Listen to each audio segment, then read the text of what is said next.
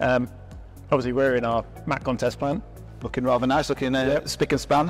Uh, it's pretty different from a production environment. I mean, what would be a, a typical day-to-day that you've seen of someone using this in a in a production facility? It, it can vary. I mean, I always discuss with customers at the, at the, at the start. Do you do you see this project being a, a production-driven project, as in do you want to use it on every single batch to understand batch-to-batch variance, or do you see it as a, a QA or QC uh, tool where you want to try and understand at pilot scale uh, how your blend is working and you looking at your blend times and your fill levels and your your um, your filling regimes. And then um, you can then translate that through to to scale up um, and then hopefully becomes entrenched in the in the company's ethos in yeah, uh, use the data understand and, and ultimately to help cut down on non-conformances which I think is the ultimate goal is uh, people's brands are, are, very important to them um, and it's ensuring that you're putting everything in place to kind of uh, protect that um,